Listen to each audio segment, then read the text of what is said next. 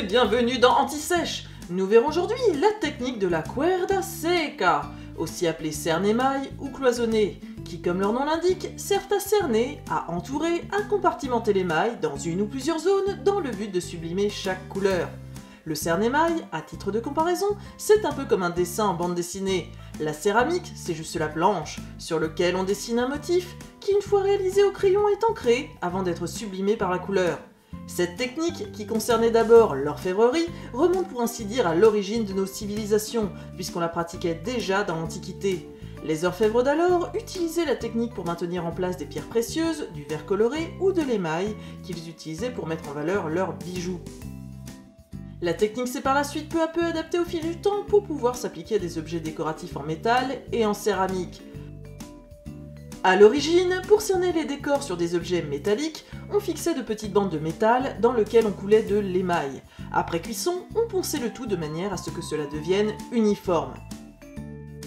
Ce procédé a lui-même évolué pour s'appliquer aux céramiques et le cloisonné a, de nos jours, pris le nom de la technique andalouse du XVIe siècle nommée cuerda seca, ou corde sèche en français, car les tracés de séparation font penser à de petites cordelettes noires du fait de la présence d'oxyde de manganèse dans la recette. Mais historiquement parlant, les premiers à avoir utilisé le procédé seraient issus du peuple achéménide pour la décoration de la frise des archers. Par la suite, la technique s'est répandue et a peu à peu évolué au cours des siècles, certains mélangeant leur oxyde avec de la cire, d'autres avec de l'huile, etc. Même si la technique que nous allons voir aujourd'hui reprend les principes de base de la technique de la cuerda seca, il n'existe pas, de fait, qu'une seule et unique manière de faire du cernémail, tout comme il n'existe pas qu'une seule recette. Aujourd'hui, nous en verrons donc une de A à Z, mais je vous donnerai par la suite d'autres recettes que vous pourrez expérimenter si vous le souhaitez. Bien, dans un premier temps, vous devrez vous munir d'une cuillère, d'une assiette, d'un pinceau fin de préférence, d'une poire à engobe ou à lavement, du médium MX54 pour la préparation des couleurs, d'essence de térébenthine, de dioxyde de manganèse, de plusieurs émaux liquides de différentes couleurs, d'une céramique déjà cuite à décorer, d'un crayon à papier, d'une poncette ou d'une feuille de papier carbone, mais vous pouvez faire sans, d'une idée de décoration, d'un litre de lait, de 125 grammes de chocolat. Attends, quoi? Ah, mais qui a encore touché à mon script, bordel? C'est moi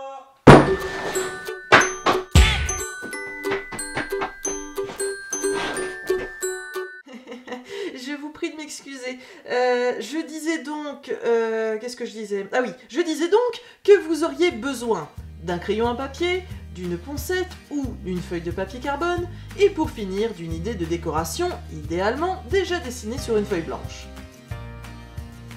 Pour commencer, il faut dessiner le motif sur votre céramique. Vous pouvez le faire de plusieurs manières, soit directement au crayon à papier, soit en utilisant une poncette, je vous renvoie pour cela à ma vidéo sur la majolique pour savoir comment procéder, soit, comme dans mon cas, en utilisant une feuille de papier carbone. N'ayez crainte, aucune marque ne restera après cuisson. Pour utiliser le papier carbone sur votre céramique, posez tout d'abord le côté carbone face à la céramique, évidemment, puis par-dessus et face verso, votre modèle. Repassez ensuite les traits au crayon pour imprimer le carbone du papier carbone sur votre céramique. Pour terminer, et si besoin, redessinez les traits au crayon à papier si, comme moi, vous avez accidentellement bougé la feuille. Mettez ensuite dans une assiette de la poudre de dioxyde de manganèse, puis ajoutez d'un côté un petit peu de médium MX54.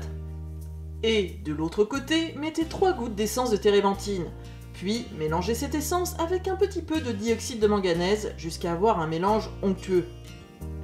Si toutefois votre mélange vous semble trop épais, ajoutez une ou deux gouttes d'essence de térébenthine en plus. Ajoutez petit à petit le MX54 en mélangeant bien jusqu'à ce que le liquide devienne élastique et tendance à se rétracter. Mais faites attention à ce que cela ne soit pas trop liquide quand même. Si c'est le cas, rajoutez un peu d'essence de térébenthine. Pour connaître l'élasticité de votre mélange, prenez une pointe de couteau et faites un trait dedans. Si le mélange liquide se reforme complètement, c'est que c'est trop liquide. S'il se rétracte mais que le trait formé reste, le mélange est prêt à l'emploi. Prenez vos céramiques et ancrez vos lignes. Enfin, peignez vos tracés avec le mélange obtenu. Essayez de faire des traits propres et de conserver la même largeur tout du long. Laissez sécher quelques minutes, puis prenez vos émaux. Ceux-ci ne doivent pas être épais, mais être plutôt légers et liquides.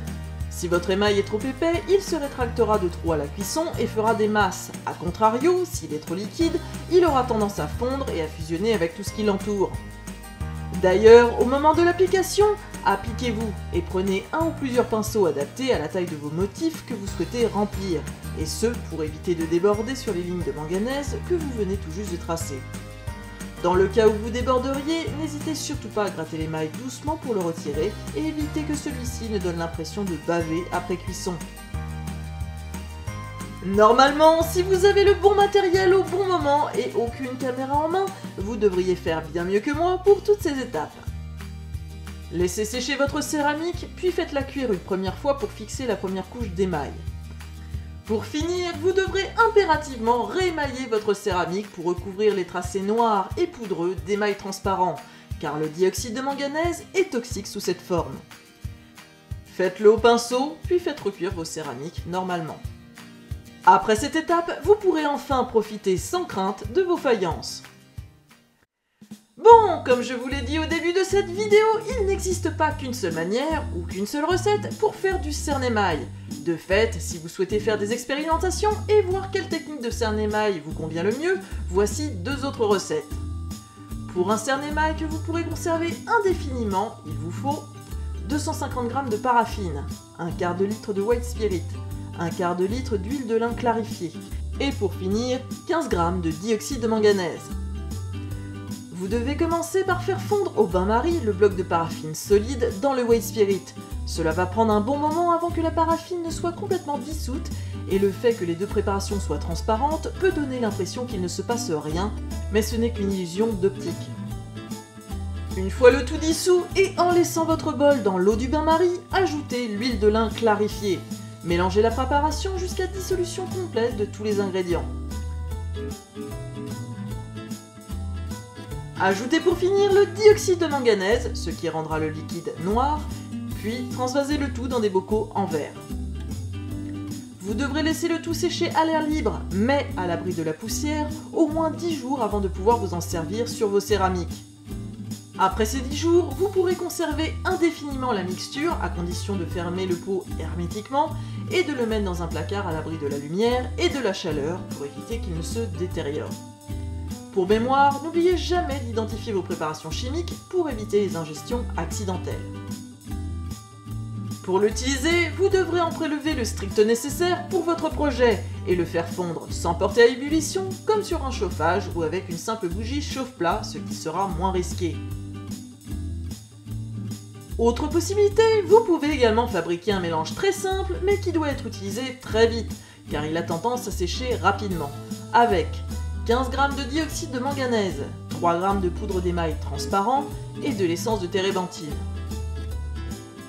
Mélangez les deux poudres de manière homogène, puis diluez le tout progressivement avec de l'essence de térébenthine jusqu'à avoir un mélange onctueux mais tout de même assez fluide pour pouvoir faire des traits précis. Après cuisson, vérifiez vos traits de manganèse et rémaillez avec une couverte si nécessaire.